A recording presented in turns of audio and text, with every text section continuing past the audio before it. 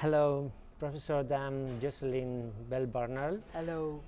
Welcome to Donostia. Thank you. Thank you for being with us. Thank you for sharing your time with Teknopolis.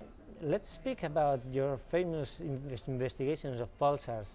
Uh, you were uh, in, I think it was in 1967, you were uh, searching, but not for pulsars or any kind of, of stars, but for quasars. What, what, what was the point of uh, looking for quasars at the time? At that time, it had only very recently been recognized that quasars were extremely distant, very, very far away. Uh, we knew that they were powerful radio sources, Okay. and if you put them at a great distance, how can they look so strong? They must be incredibly bright. So suddenly they were very, very interesting, very curious, a hot topic. Hmm. But we didn't know so many of them. But my thesis advisor, Tony Hewish, had a good way of finding more. And it was to do that that we built a radio telescope, our own radio telescope, and started using it. And with hindsight, we can see that that telescope and the way we were using it was going to be a good way to find pulsars. But of course, at the time, we had no clue that pulsars existed. Absolutely no clue. Del espacio llegan señales, y para entender el universo lo único que hay que hacer es interpretar esas señales.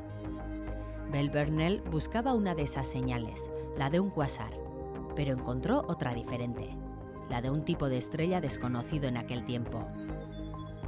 Era un pulsar, una estrella de neutrones que emite señales en pulsos regulares.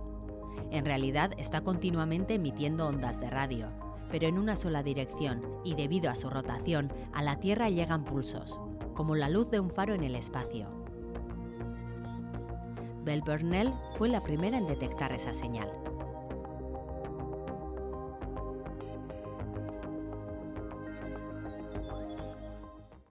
You were using a radio telescope uh, in the UK, in the United Kingdom. Uh, that place is famous for the heavy weather, the rain, the fog, uh, Yeah. just like the Basque Country. Yes. It's not at all a good place to, to optical uh, astronomy. That's right, yes. But what about radio astronomy? radio astronomy is a completely different story. Uh, during the daytime, the sun does not dominate the sky. Uh, if we had radio eyes, we would not see a particularly bright sun, and we could still, still see all the stars and galaxies beyond the sun. So, radio astronomy you can do in the daytime and the nighttime, and clouds are not a problem either. The radio waves come through the clouds. So, in climates like ours in Britain and yours here, you can do radio astronomy.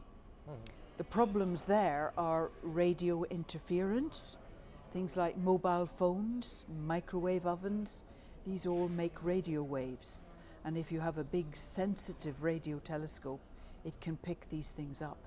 So you need to be somewhere away from lots of people and, and cities.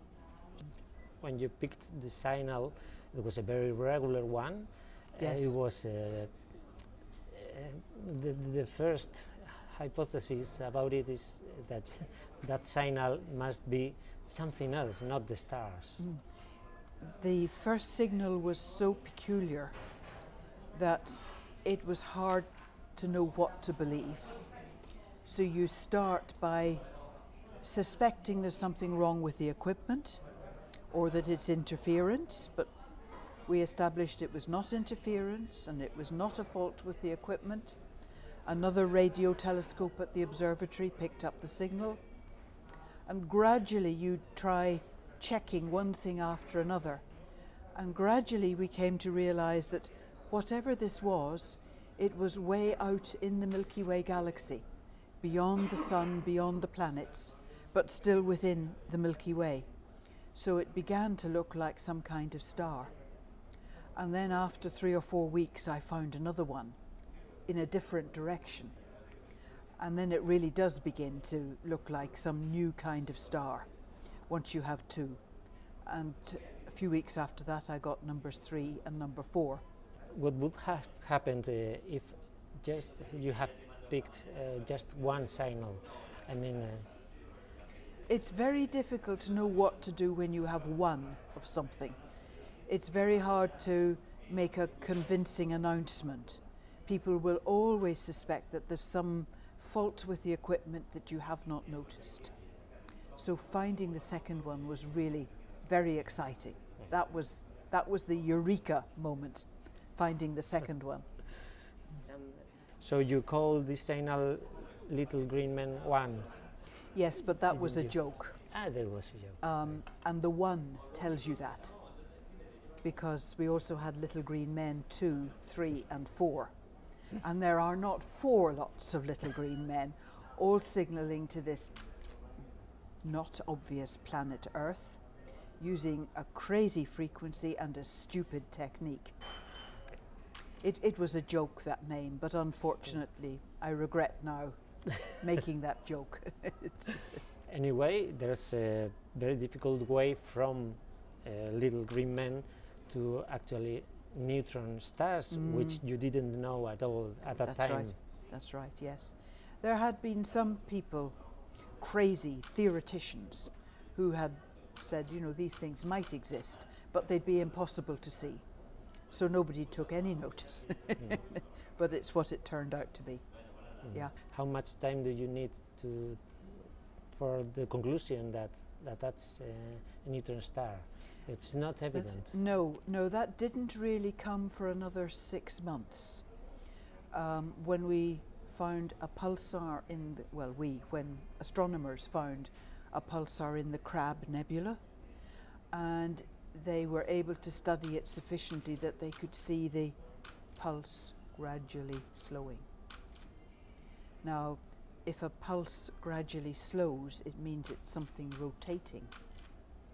If it was something vibrating, as it gets tired, it gets faster. Okay. But this was getting slower, so it was something rotating.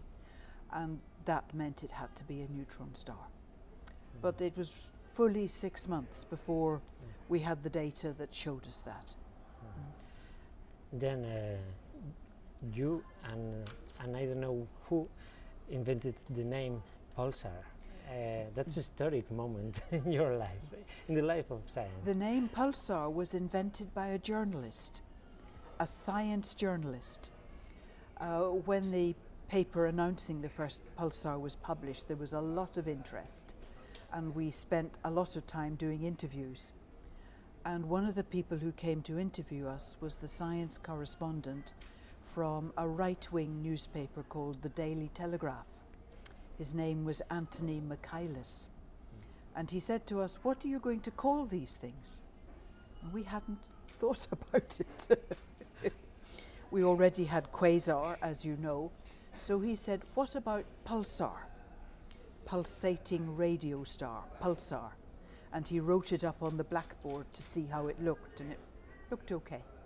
So pulsar it became. it became. A final question, one final question uh, dealing with your career and your famous uh, awards and not awards, the, the Nobel Prize uh, uh, of uh, Ant- Anthony Hu- Hewish, uh, you said. Ah, okay. Um, and I, I find that some kind of parallelism, but it's not the same story, but uh, with Rosalind Franklin's uh, history. El trabajo de la investigadora británica Rosalind Franklin fue crucial en las investigaciones sobre la estructura del ADN. Utilizando la técnica de la difracción de los rayos X, Franklin obtuvo varias imágenes de ADN. Una de ellas puso a James Watson y Francis Crick tras la pista de la verdadera estructura del ADN. El científico Maurice Wilkins facilitó a Watson y Crick la conocida Foto 51, pero lo hizo sin la autorización de su autora. Diez años más tarde, Watson, Crick y Wilkins obtuvieron el Nobel de Medicina. El galardón reconocía su contribución al descubrimiento de la estructura del ADN. Aquejada de cáncer, Rosalind Franklin había fallecido tres años antes. En el acto de entrega de los galardones, nadie hizo mención a su trabajo y tuvieron que pasar muchos años hasta que los tres científicos laureados comenzaran a citar públicamente el trabajo de la investigadora fallecida. Rosalind Franklin died very young. She had died by the time there was a Nobel Prize for that piece of work. Um, but whether she would have been included, I don't know. We can only guess. Um, yes, not many women have had Nobel Prizes, but then there are not so many women of my generation doing science. I hope that in the future there'll be many, many more. Mm. My opinion, well, it's a worthless opinion, but I think she wouldn't have received the, the, the prize. I don't know. You may be right, yes. yes. The way the things were developing, I suspect you were correct, yes. Mm. Mm. So thank you very much. Thank you for, for giving me the, the possibility of being with a fantastic woman. Thank you. And uh, you're welcome. Thank you very much, and thank you for your interest too.